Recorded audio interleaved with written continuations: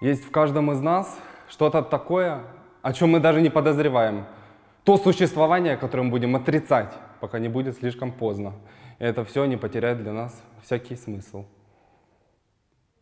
Именно это заставляет нас подниматься по утрам с постели, терпеть, когда нас донимают, терпеть кровь, пот и слезы. А все потому, что мы хотим показать другим, какие мы на самом деле хорошие, красивые, забавные, щедрые, умные. Можете меня бояться или посчитать, только, пожалуйста, не считайте меня таким же, как все.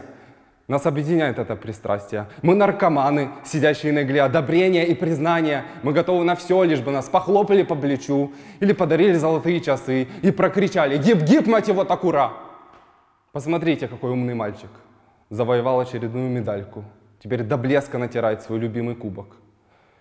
Все это сводит нас с ума. Мы не более чем обезьяны, нацепившие костюмы, страждущие признания других.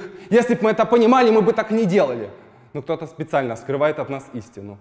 Если бы у вас появилась возможность начать все сначала, вы бы непременно спросили у себя, почему